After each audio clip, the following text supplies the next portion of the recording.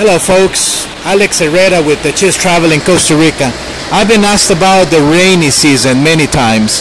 Well, the tours simply go unless you're doing Class 5 whitewater rafting. Uh, it's raining. That's our flag right there. And uh, we're preparing for enjoying this one adventure where we will have the Arenal volcano on one side and the lake, the Arenal Lake on the other. And as you can see, everything is happening and going.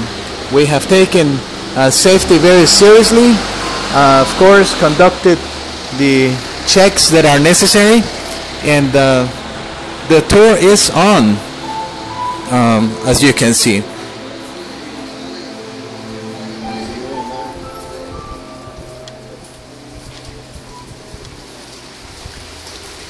This is where the adventure begins.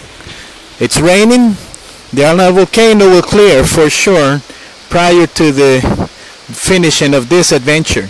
And here they go, folks. First, the tram to come up to appropriate elevation, and they can you see the sun starting to come out?